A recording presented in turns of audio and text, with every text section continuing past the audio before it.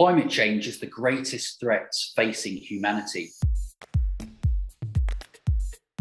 The food industry accounts for in the region of 20 to 30% of greenhouse gas emissions. This comes from direct impacts of agriculture, but also the indirect effect of transporting the food, refrigerating the food, and also waste management. A large proportion around 60% of the dietary induced carbon footprint is derived from meat. So we're talking about quite a considerable impact. There's been a lot of interest in the idea of reducing meat intake with a focus on climate change.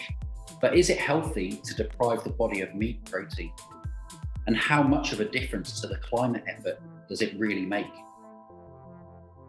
Whilst reducing meat intake makes sense from an environmental perspective, given the high greenhouse gas emissions. We also need to consider the dietary aspects from a health perspective in terms of reducing meat intake.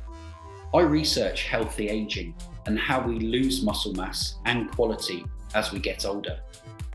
Supporting strong muscles requires constant remodeling by producing muscle proteins from amino acids.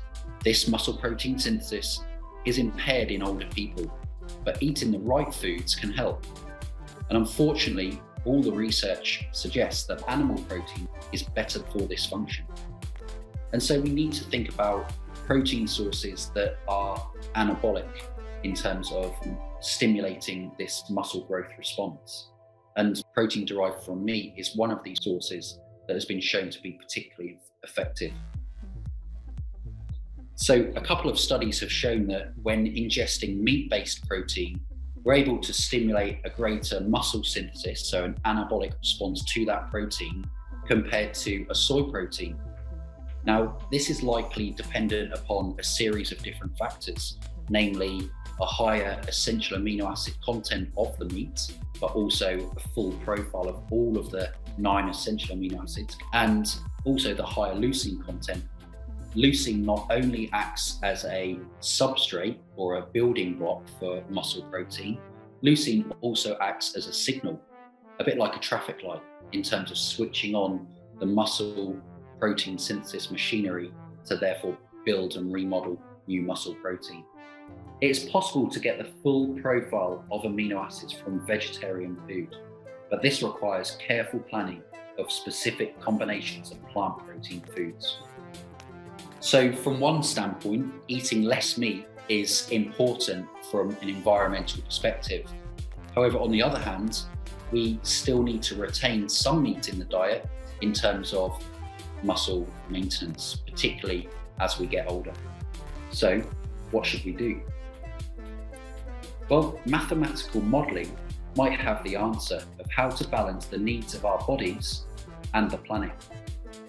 Researchers are working to calculate the dietary changes required to achieve both our nutritional requirements and meet the targets for reduced greenhouse gas emissions.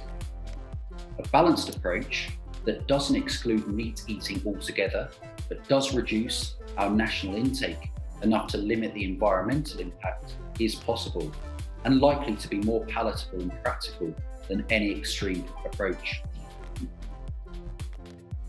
Climate change is the greatest health threat facing humanity. We absolutely must prioritise actions that reduce emissions. That means, among many other things, eating less meat. It's something we can all do. We can balance the immediate needs of our bodies with the future health of everyone, everywhere.